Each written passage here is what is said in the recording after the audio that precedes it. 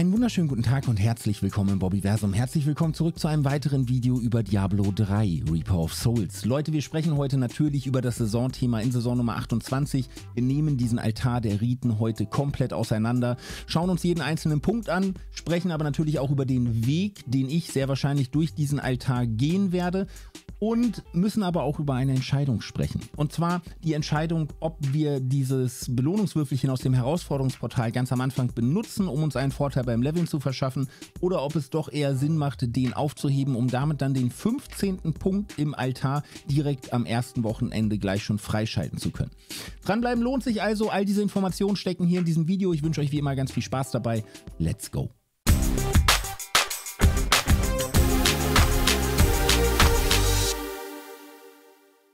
Bevor es jetzt aber mit dem eigentlichen Video und dem Altar der Riten so richtig losgehen kann, hier an dieser Stelle nochmal zwei kurze Infos. Die eine bezieht sich auf mein letztes Video. Falls ihr das noch nicht gesehen habt, findet ihr natürlich oben in der Infobox und unten unter dem Video in der Videobeschreibung.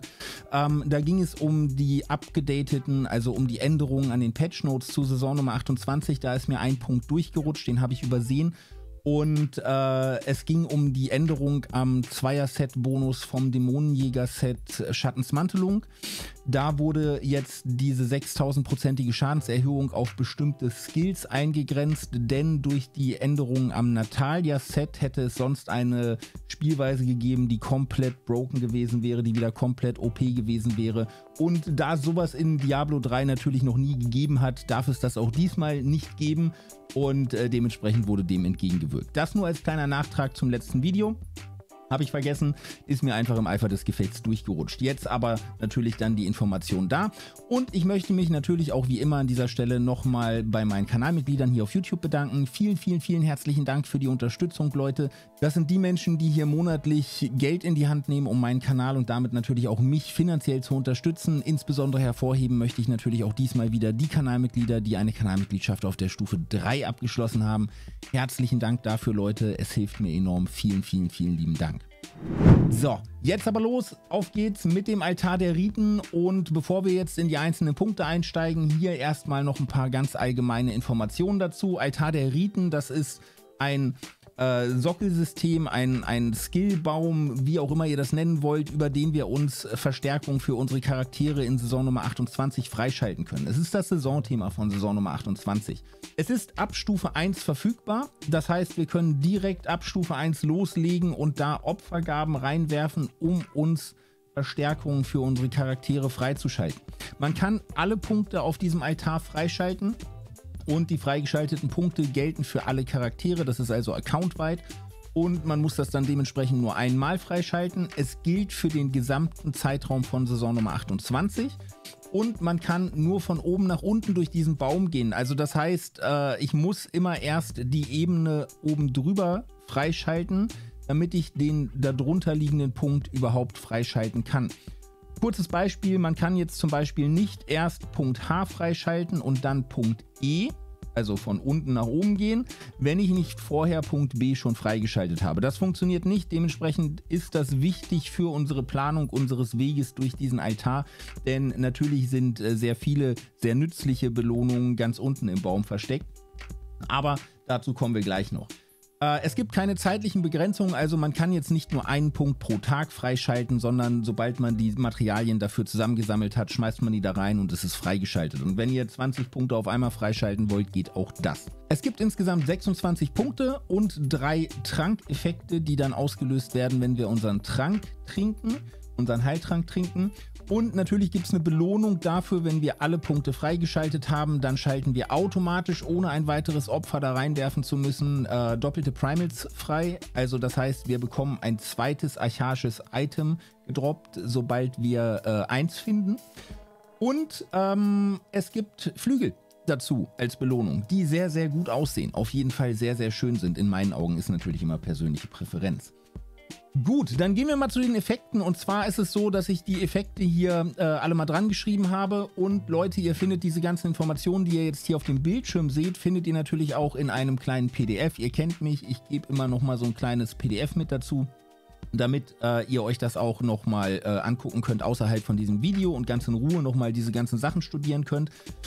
Denn es ist doch sehr, sehr viel, was da irgendwie ähm, drauf ist und was da zu beachten ist. Dementsprechend könnt ihr euch das Ganze in Ruhe nochmal anschauen, könnt ihr euch kostenlos downloaden. Äh, dementsprechend steht euch das natürlich zur Verfügung. Die Effekte, die wir auf diesem Altar finden, sind äh, grundlegend in drei Kategorien einzusortieren. Wir haben offensive Effekte und defensive Effekte, aber, und das sind meiner Meinung nach die wichtigsten Effekte, das sind die Utility-Effekte, also die nützlichen, die Quality of Life-Effekte, die uns einfach ja, in, im Spiel schneller und äh, besser voranschreiten lassen. Und äh, das sind natürlich die Effekte, die man eventuell auch tatsächlich als erstes freischalten möchte.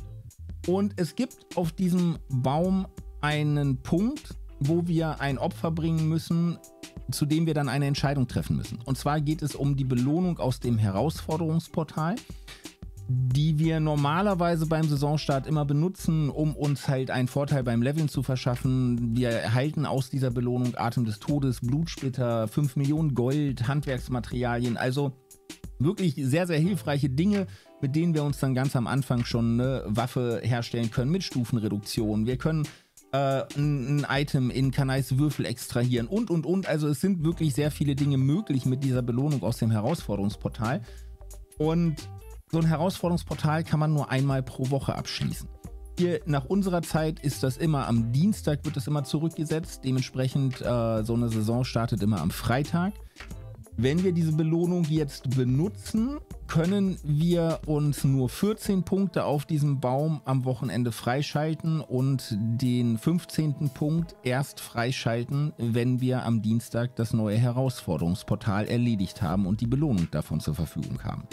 Deswegen gibt es jetzt schon wieder die wildesten Spekulationen. Ja, nee, ich hebe mir meinen mein Würfel aus dem Herausforderungsportal auf, Level ohne diese Vorteile und äh, kann dann dafür direkt am Wochenende schon alle Punkte auf diesem Altar freischalten. Und das ist jetzt natürlich meine persönliche Meinung, wie auch alle anderen Sachen, die ich euch jetzt hier zu erzähle. Auch mein Weg durch diesen Baum ist natürlich meine Entscheidung. Das könnt ihr anders sehen. Ihr könnt mir auch gerne in die Kommentare schreiben, wie ihr das seht, ob ihr vielleicht einfach einen anderen Weg gehen werdet, ob ich da wirklich einen Denkfehler drin habe, ob ihr da wirklich irgendwie seht, nee, macht das mal lieber so, Bob denn äh, das macht deutlich mehr Sinn. Schreibt mir das gerne in die Kommentare, ich spreche da sehr, sehr gerne mit euch.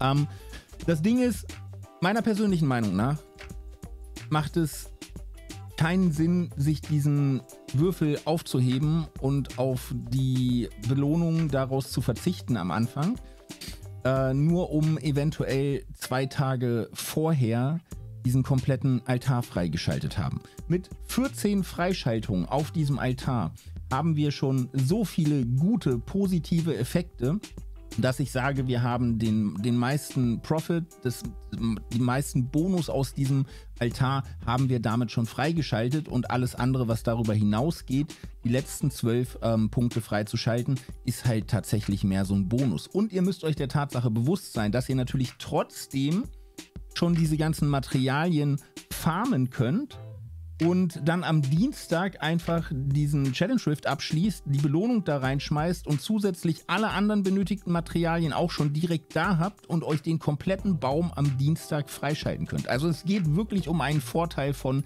ja ein bis zwei Tagen, die ihr tatsächlich vorher über diese Effekte verfügt. Dementsprechend macht es in meinen Augen für die Spieler und Spielerinnen Sinn, diesen äh, Würfel aufzuheben und da reinzusammeln in den Altar die am ersten Wochenende direkt auf Platz 1 im Leaderboard stehen wollen, die äh, vielleicht einfach für irgendwelche anderen Zwecke zeigen wollen, dass es möglich ist, diesen kompletten Baum auch am ersten Wochenende komplett abzuschließen, dass das nichts ist, was irgendwie länger hält, länger motiviert als, ähm, das, äh, als das, die generelle Saisonreise für diese Spieler macht es durchaus Sinn, diesen, ähm, diesen Würfel aufzuheben und direkt in den, in den äh, Altar reinzuopfern, um wirklich komplett durchzusuchten und diesen Altar am ersten Wochenende freizuschalten. Für alle anderen Spieler und Spielerinnen, die eventuell nicht ganz so viel Zeit haben, um wirklich am, das komplette Wochenende durchzuzocken, für all diese Spieler und Spielerinnen würde ich persönlich es sehen, dass es deutlich mehr Sinn macht, diesen Belohnungswürfel aus dem Herausforderungsportal zu benutzen. und damit noch schneller durch diesen Altar oder besser durch die Saison zu fliegen. Denn wir können uns auch ohne die Herausforderung aus dem Challenge Rift eine sehr komfortable Levelphase gestalten. Sprechen wir gleich nochmal drüber. Aber mit der Belohnung aus dem Challenge Rift geht es noch deutlich schneller zu leveln. Wir sind noch schneller im Endgame und wir können uns trotzdem noch schneller damit dann beschäftigen, die ganzen anderen benötigten Materialien und Dinge zu farmen, die wir für diesen Altar einfach brauchen. Also es ist wirklich so eine Entscheidung, die man treffen muss. Ich persönlich sehe das so, wenn ihr wirklich komplett die Leaderboards pushen wollt, am ersten Wochenende pushen wollt, vor Dienstag ganz oben in den Leaderboards stehen wollt, absolute Vielspieler seid und das komplette Wochenende dafür eingeplant habt, das komplett durchzusuchten, Go for it, hebt euch den Würfel auf, schmeißt ihn auf Stufe 15 in diesen Altar und äh, schaltet, den, äh, schaltet den Altar komplett frei, so schnell es nur irgendwie geht. Seid die Ersten, die äh, sich das freischalten. Für alle anderen würde ich persönlich empfehlen, nutzt euren Vorteil aus diesem Herausforderungsportalwürfelchen, nutzt ihn und äh, schaut euch dann dementsprechend an, wie schnell ihr damit dann tatsächlich durch diese Levelphase fliegen könnt. Okay, dann sprechen wir jetzt tatsächlich mal über die einzelnen Punkte, was da meiner Meinung nach Sinn macht. Also äh, die Utility-Effekte sind tatsächlich teilweise hier ganz oben versteckt. Da haben wir einmal den ersten Punkt, den müssen wir logischerweise alle freischalten. Das gibt es überhaupt gar kein Vertun. Der erste Punkt ist der Massaker-Bonus. Der erste Punkt kostet 10 ähm, wiederverwertbare Teile und das ist, egal welchen Weg wir auch gehen, immer der erste Punkt. Ähm, das ist schon mal ein sehr starker Bonus, der unsere Levelphase, völlig egal wie wir die angehen, verstärkt. Äh, der Massaker-Bonus, der Timer dafür wird verdoppelt und die Belohnung, das heißt, wir haben länger Zeit, um Gegner zu hitten und wir haben äh, natürlich deutlich mehr Erfahrungspunkte, die wir aus dem Massaker-Bonus gewinnen können. Dementsprechend macht es in Saison Nummer 28 einfach nur Sinn, völlig egal, was ihr tut, über den Massaker-Bonus zu leveln. Und selbst wenn ihr damit nicht so vertraut seid und das für euch eher so ein Ding ist, wo ihr sagt, boah, das ist super langweilig, ähm, der Vorteil, den ihr da habt, ist gigantisch. Also dementsprechend, es lohnt sich wirklich, sich damit mal auseinanderzusetzen. Dann haben wir hier oben noch einmal keine Stufenanforderung und einmal die 40% mehr XP aus den, äh, den XP-Pools. Das sind diese gelben Brunnen, die man austrinken kann. Ähm, 40% mehr Erfahrungspunkte erhält man dadurch über die gesamte Saison. Das verschwindet nicht mehr, wenn man stirbt und das bleibt halt tatsächlich für immer erhalten in der Saison 28. Dementsprechend einmal so einen Pool trinken und 40% mehr XP haben, ist schon sehr, sehr stark. Äh, keine Stufenanforderung bedeutet, wir haben ähm, die Möglichkeit, Stufe 70 Ausrüstung zu tragen, obwohl wir vielleicht erst Stufe 11 oder 10 oder 1 auch sind. Völlig egal. Auf jeden Fall keine Stufenanforderung bedeutet, wir können Gegenstände der Stufe 70 anziehen. Dann kommen die wirklich richtig, richtig nützlichen Dinge natürlich ziemlich weit unten im Baum und wir reden jetzt hier mal direkt von den Trankeffekten. Das sind die, die ihr hier ganz unten seht, AA, AB und AC. Und da gibt es einmal diese drei unterschiedlichen Kringel, die auf dem äh, Boden auftauchen, die euch dann einen Buff geben, in die ihr euch reinstellen könnt. Einmal eine äh, Schadensreduktion, also die Gegner um uns herum verursachen 25% weniger Schaden. Und dann gibt es einmal diesen Effekt, dass wir einen zufälligen Pylon- oder Schreineffekt erhalten. Meiner persönlichen Meinung nach ist das hier definitiv der stärkste Effekt und wir wollen diesen Effekt natürlich so schnell wie möglich freischalten, damit wir halt auf Knopfdruck einen Pylon- oder Schreineffekt erhalten können und sind damit in egal welchem Bereich des Spiels wir unterwegs sind, einfach sehr viel schneller. Geschwindigkeit, Schnelligkeit ist in Diablo 3 in der Regel gleich Effektivität und dementsprechend ist das natürlich der Potion-Slot, den ich mir als erstes freischalten möchte. So ein äh, Potion-Slot freizuschalten kostet übrigens äh, 55 von dieser uralten Asche oder archaischen Asche. Dafür muss ich ein Primal zerlegen. Das heißt, ich muss mindestens ein Primal gefunden haben, bevor ich diesen Punkt hier unten freischalten kann. Wir schauen uns jetzt einfach wirklich mal Schritt für Schritt den Weg durch den Baum an, den ich für sinnvoll erachte. Wie gesagt, ihr habt die Möglichkeit, euch das alles runterzuladen und äh, euch anzugucken. Ich habe diese Effektbeschreibung da dran gelassen. Könnt ihr euch dann dementsprechend anschauen, was da eurer Meinung nach Sinn macht und wie ihr durch diesen Altar jetzt nun durchgehen könnt. Dafür mache ich jetzt die Effekte erst nochmal aus Und ähm, dann gehen wir wirklich einmal Schritt für Schritt durch meinen Weg. Und ich äh, mache das hier Ganze nochmal ein bisschen kleiner, damit wir hier auch wirklich alles sehen. Nehme hier nochmal die äh, allgemeinen Sachen raus und wir gucken uns dann tatsächlich einmal alles Schritt für Schritt an. Also, der erste Punkt, logischerweise, äh, der erste Punkt, logischerweise, ist Punkt A, da brauchen wir gar nicht drüber sprechen. Ähm, das ist der Massaker-Bonus mal 2, der ähm, da müssen wir anfangen, da haben wir gar keine andere Möglichkeit und dieser Punkt kostet uns ähm, 10 wiederverwertbare Teile. Ist also gar nicht so teuer, völlig egal. Selbst wenn wir jetzt diesen Challenge Rift aufgehoben haben, diesen, diese Belohnung aufgehoben haben, sind 10 wiederverwertbare Teile. Zwei weiße Items, die wir zerlegt haben beim Schmied, die finden wir auch auf Stufe 1 wunderbar und dementsprechend ist der in 0, nichts freigeschaltet und wir sollten dementsprechend auf jeden Fall über den Massaker-Bonus leveln. Dann haben wir eine Entscheidung zu treffen und zwar ist es so, dass wir einmal den Punkt haben, keine Stufenanforderung für Stufe 70 Items und einmal die XP-Pools. Und je nachdem, das ist wirklich so dieser einzige Unterschied, je nachdem, welchen Weg ihr geht, wenn ihr diesen Challenge Rift Bag aufhebt, schaltet euch unbedingt als zweiten Punkt die XP-Pools frei. Wir können nur zwei Punkte freischalten während der Levelphase. Alles andere geht erst ab Stufe 70. Nur die ersten beiden Punkte gehen in der Levelphase. Dementsprechend trefft hier die Entscheidung, habt ihr euren Challenge Rift Bag benutzt, schaltet euch keine Stufenanforderung der Level 70 Items frei. Habt ihr den nicht benutzt und hebt den für Punkt 15 auf, dann schaltet euch unbedingt die XP Pool als zweiten Punkt frei. Der zweite Punkt kostet äh, übrigens einen makellosen Diamant, 15 Arkanstaub und 20 wiederverwertbare Teile. Ist auch egal, ob das jetzt nun Punkt B oder Punkt C ist. Das ist, sind die Kosten für den zweiten freigeschalteten Punkt.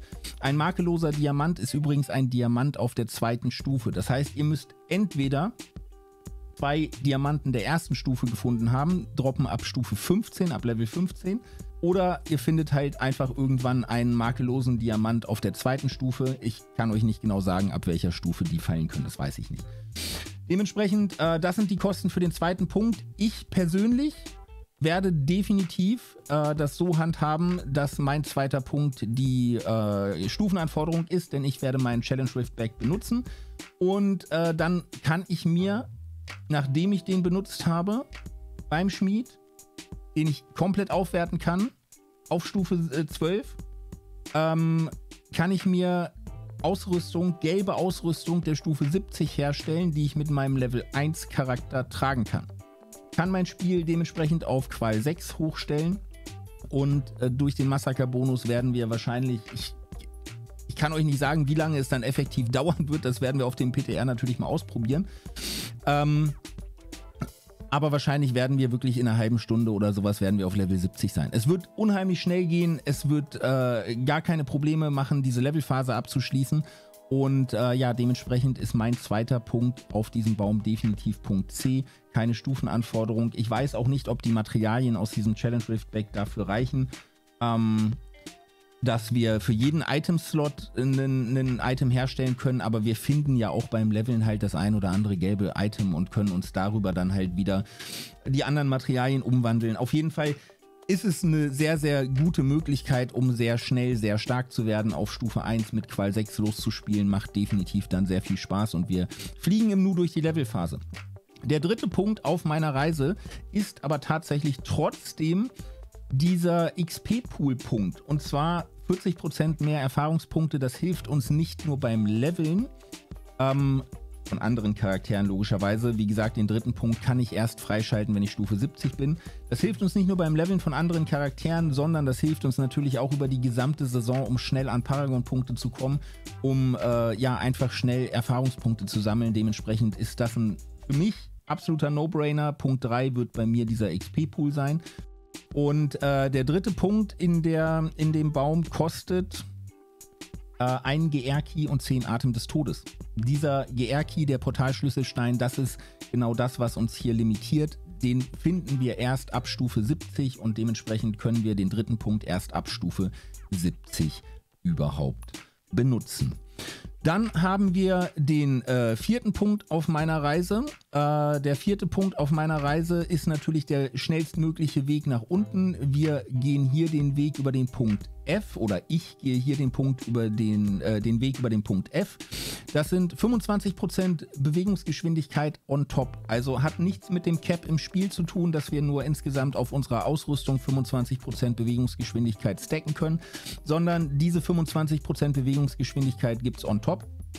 Ähm, ist immer sehr nett, wenn wir uns schnell durch die Gegend bewegen können und äh, hilft uns beim schnelleren Abschluss von den Portalen, ist dementsprechend auch einer von diesen Utility-Punkten. Der vierte Punkt auf der Reise kostet uns dann einen Set-Helm. Das heißt, wir müssen einen Helm aus einem klassenspezifischen Item-Set in den Altar schmeißen und können darüber den vierten Punkt freischalten. Weiter geht's unweigerlich, auch hier kommen wir nicht dran vorbei, mit Punkt H. Das ist natürlich der fünfte Punkt dann auf der Reise. Ähm, und das ist ein Schild, welches wir erhalten, wenn wir so eine Haikugel aufsammeln. Natürlich auch nice to have, aber jetzt nichts, wo ich sage, okay, das ist unbedingt das, was wir brauchen, aber ist natürlich wieder eine schöne und willkommene Unterstützung. Und der fünfte Punkt kostet uns 20 vergessene Seelen und 10 Kopfgeldmaterialien. Also die Kopfgeldmaterialien natürlich aus jedem einzelnen Akt. Das heißt, wir müssen schon mal Bounties machen, um den fünften Punkt freizuschalten. Weiter geht's auf der Reise mit äh, Punkt Nummer 6 und da müssen wir jetzt wieder eine Entscheidung treffen. Äh, wir können uns hier freischalten entweder 10% Elementar-Damage oder aber wir können uns freischalten minus 25% Nahkampf-Damage oder plus 20% Schaden gegen Elite-Gegner. Das sind die drei Möglichkeiten, die ich hier habe und in meinen Augen sind die alle ganz nett. Es ist nichts dabei, wo ich jetzt sage, okay, das ist der absolute Oberwahnsinn. Ich bin eher ein Freund, offensive Dinge zu bevorzugen als defensive Dinge. Deswegen fällt Nahkampf-Damage erstmal rein auf und dieser Tatsache schon äh, so ein bisschen ins Hintertreffen. Dann haben wir die Entscheidung 20% Elite-Damage oder 10% Elementar-Damage. Also diese 10% werden auf die höchste Elementarschadensart, die wir auf unserem Charakter haben, draufgerechnet. Und das ist meiner Meinung nach der Weg, äh, den wir gehen sollten oder den ich gehen werde. Dafür habe ich mich entschieden. Hat aber eigentlich mehr den Hintergrund, weil ich mir schnellstmöglich ähm, den Punkt O freischalten möchte. Was es damit auf sich hat, das erfahren wir gleich. Also der sechste Punkt auf meiner Reise ist hier definitiv ähm, der Elementarschaden. Äh, ja, der siebte Punkt, ihr habt es eben schon gehört, ist dann Punkt O auf der Reise und Punkt O sind doppelte Bounty-Materialien. Ihr wisst, ich mache nicht unbedingt sehr gerne Bounties und äh, ja, wir brauchen tatsächlich noch sehr viele Kopfgeldmaterialien, um uns äh, diesen Altar weiter freizuschalten. Dementsprechend ähm, ja, werde ich mir diesen Punkt sehr früh freischalten, um dann wirklich doppelte Kopfgeldmaterialien zu erhalten. Das ist, äh, denke ich mal, für jeden Spieler irgendwie nützlich und das kann tatsächlich jeder gebrauchen. So, jetzt habe ich die Kosten bei Punkt 6 vergessen. Die Kosten bei Punkt 6 sind einmal die Materialien aus den Überbossen die wir äh, erreichen, wenn wir die äh, Maschinen von den Schlüsselhütern gesammelt haben und dann diese Portale dort abgeschlossen haben. Punkt 7 kostet mich dann, also diese doppelten Bounty-Materialien, kostet mich dann ein Wickel des Seelenernters. Wickeltuch heißt es, glaube ich, des Seelenernters. Ähm, dafür müssen wir Maltael gelegt haben, den Plan beim Schmied eingelesen haben und so ein Ding hergestellt haben und dann können wir uns hier Punkt O freischalten. Weiter geht es bei mir mit dem äh, achten Punkt, logischerweise. Das ist bei mir Punkt S. Ähm, denn ich habe hier von Punkt O natürlich nur die Möglichkeit, hier auf Punkt S zu kommen und äh, kann mir von Punkt S aus sowohl Punkt R als auch Punkt T freischalten und bekomme somit dann Zugang zu den ganzen ähm, Potion-Effekten. Der achte Punkt, Punkt S, ist ähm, CC-Immunität, also Immunität gegen Gegner-Kontrolleffekte oder besser gesagt gegen Kontrolleffekte, die wir von Gegnern erhalten, ist auch wieder so ein Utility-Ding, ist sehr nützlich, aber auch jetzt nicht unbedingt der absolute Gamechanger. Ist ein sehr, sehr schöner Punkt und nehmen wir hier natürlich gerne mit. Der achte Punkt kostet uns 30 Seelen, 30 vergessene Seelen, dementsprechend nicht wirklich so teuer, kriegt man relativ schnell zusammen die Seelen. Ähm, dann geht es weiter mit Punkt 9 logischerweise. Punkt 9 ist bei mir der Punkt T. Und T gibt uns Passability. Das bedeutet, wir können uns ungehindert durch unsere Gegner hindurch bewegen, werden von denen nicht mehr geblockt und haben damit halt nichts mehr im Weg. Auch ein sehr schöner Effekt. Und äh, ja, ich habe mich für den Weg hier entschieden, weil ich natürlich als erstes mit meinen ersten ähm, 55 Asche den Pylon-Effekt von dem, von dem Trank hier unten freischalten möchte. Denn äh, das erste Primal möchte ich in den stärksten Trankeffekt investieren. Dementsprechend, wenn ich das erste Primal zerlegt habe, kann ich mir dann hier diesen Punkt freischalten. Dementsprechend so schnell wie möglich hier unten nach rechts. Äh, Punkt 9 ist dann damit Punkt T. Und den neunten Punkt freizuschalten kostet mich 1100 Blutsplitter. Ähm, weiter geht's logischerweise mit Punkt 10. Das ist dann halt hier auch hier unten rechts der Effekt, äh, ja, um eben diesen Trankslot freizuschalten. Punkt 10 bedeutet, wir erhalten doppeltes Glück bei Kadala. Doppeltes Glück bedeutet, wir erhalten die doppelte Chance auf legendäre Gegenstände bei Kadala. Und äh, ja, das ist natürlich ganz nett. Kadala gönnt normalerweise jetzt nicht so regelmäßig irgendwas Gutes. Dementsprechend, wenn wir die doppelte Anzahl an Legis erhalten, erhalten wir auch die doppelte Anzahl an uralten Legis und die doppelte Anzahl an archaischen Legis. Dementsprechend nehmen wir das hier dankend mit, haben damit Zugang zum Trankslot AC. Der Trankslot AC äh, bedeutet, dass wir den natürlich als erstes freischalten, erstmal ganz klar. Und bedeutet, dass wir einen zufälligen Pylon- oder Schreineffekt erhalten, sobald wir äh, unseren Heiltrank trinken. Okay, weiter geht's bei uns auf der Reise hier mit Punkt 11. Das wird hier bei mir der Punkt R sein. Punkt R gibt uns 15% Damage, also einfach flat 15% obendrauf. Sehr, sehr nett. Nehmen wir natürlich gerne mit und gibt uns dann die Möglichkeit, hier Zugang zu Punkt AA zu erhalten. Das ist der zweite Potion-Slot, den ich freischalten möchte. Das ist der Slot mit den Kringeln auf dem Boden. Dementsprechend gehen wir diesen Weg und äh, Punkt 10 haben wir auch schon wieder vergessen von den Kosten her. Äh, Punkt 10 kostet uns einen makellos königlichen Rubin. 20 Atem des Todes und einen Prunkring, den wir da reinschmeißen müssen. Also erst dann haben wir Zugang zu dem Potion-Slot. Äh, Punkt 11 von den Kosten her sieht ähnlich aus. Wir brauchen einen makellos königlichen Smaragd und wir brauchen hier 30 Kopfgeldmaterialien aus jedem Akt. Dementsprechend macht es durchaus Sinn, hier den Punkt mit den doppelten Bounties relativ schnell mitzunehmen. Dann geht es weiter mit Punkt Nummer 12.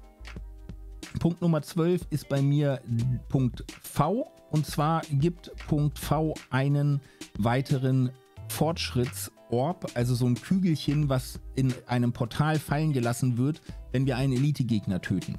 Sowohl in den normalen T16 Rifts ist das natürlich sehr hilfreich und auch in den großen Nephalem-Portalen ist das natürlich sehr hilfreich. Ich habe es vorhin angesprochen, diese Utility-Effekte geben uns die Möglichkeit, schneller durchs Spiel zu kommen und genau das ist auch hierbei der Punkt. Wenn ich mehr von diesen Orbs einsammle, ist das Portal schneller beendet, ist der GR schneller beendet und dementsprechend kann ich einfach schneller durch das Spiel durchschreiten und ähm, das ist sehr, sehr mächtig. Also ein weiteres Kügelchen aus den Elite-Gegnern ist sehr, sehr mächtig, gibt uns sehr, sehr viel Clear Speed und dementsprechend ein sehr wichtiger Punkt ähm, und gibt uns natürlich damit auch weiterhin Zugang zu Punkt AA.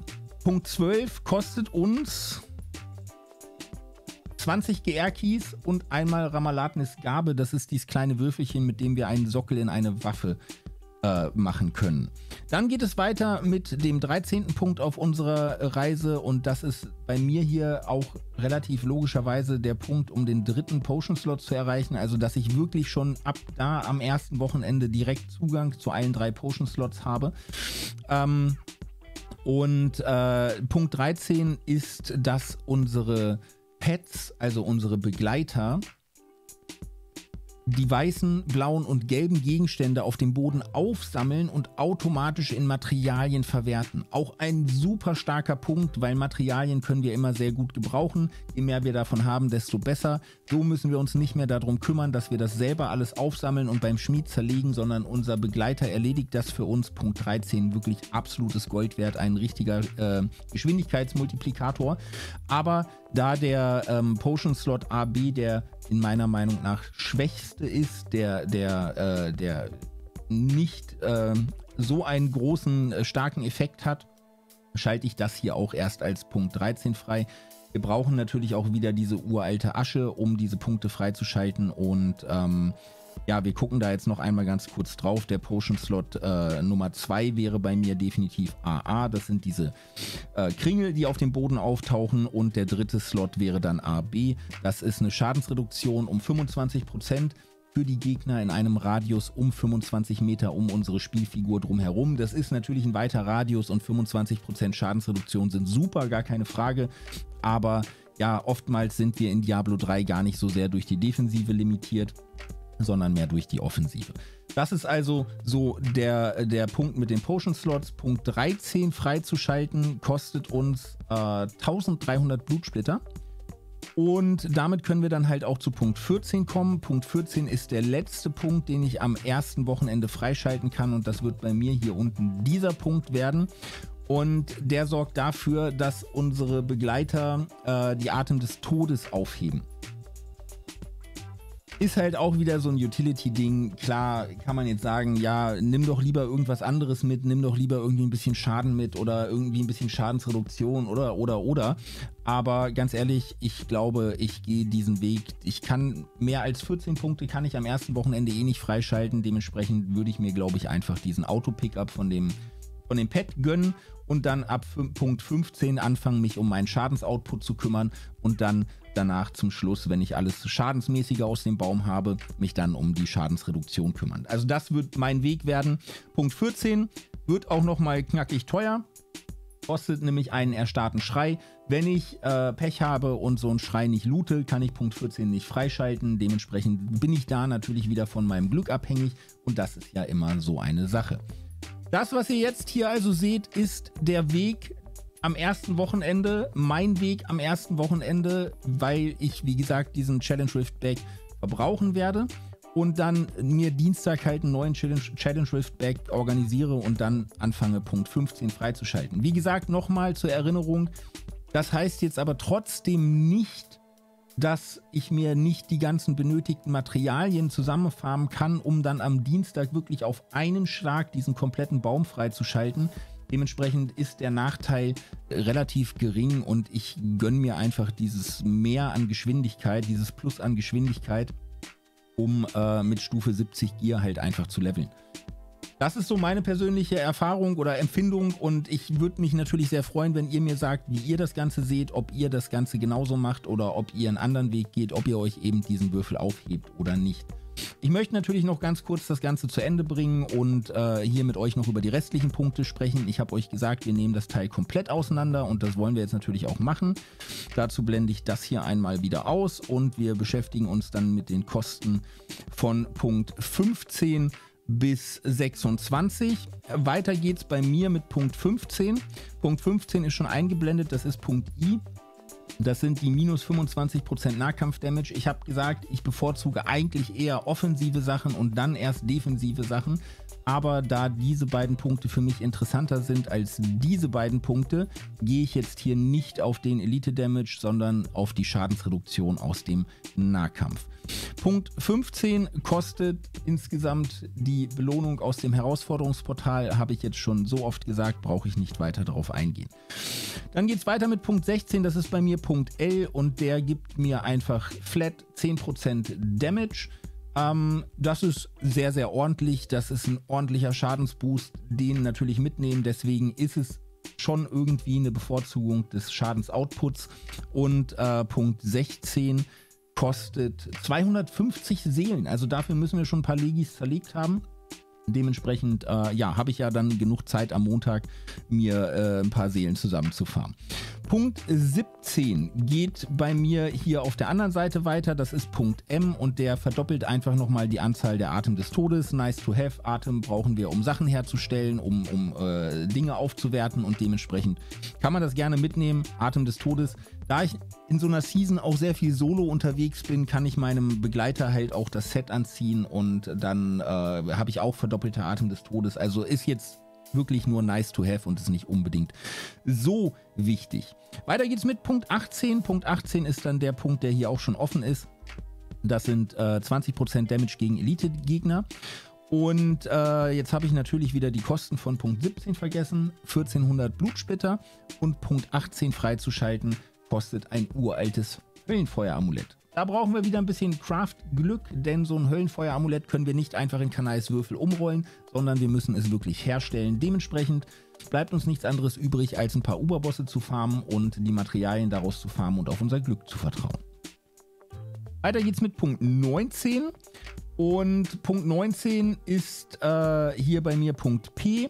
Das ist automatisches äh, Aufheben der Fortschrittskügelchen ist in meinen Augen auch sehr, sehr stark, wenn wir nicht diese ganzen Bällchen einsammeln müssen. Aber dieser Punkt hier unten, wo wir ein Bällchen mehr bekommen, ist deutlich stärker und deswegen der erst hier zum Schluss, dass die automatisch aufgesammelt werden und wir uns da gar nicht irgendwie Gedanken drum machen müssen. Punkt 19 kostet uns uh, Never Ending Questions. Das ist dieser komische Zettel, ich weiß nicht genau, wie der auf Deutsch heißt.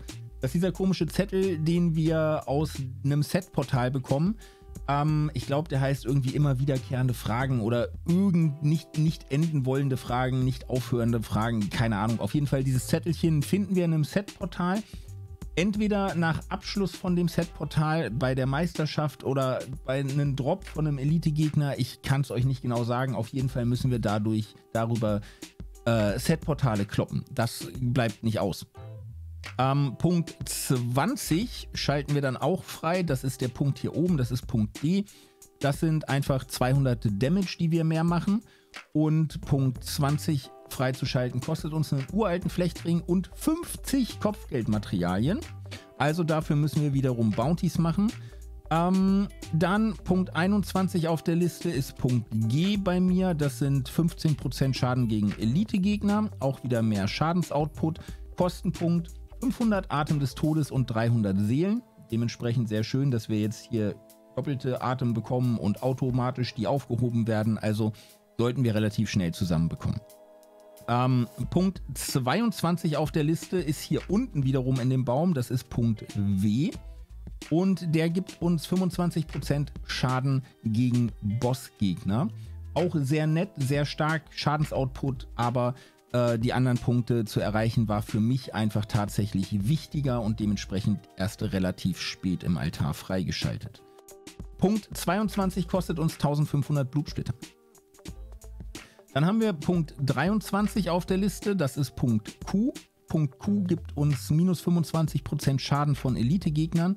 Jetzt sind wir halt schon bei der Schadensreduktion angekommen und Punkt 23 kostet ein Flüstern der Buße auf Stufe 125. Flüstern der Buße ist dieses Edelsteinchen, was aus dem erstarrten Schreibportal zu erhalten ist. Den brauchen wir auf Stufe 125 und müssen den dann da opfern.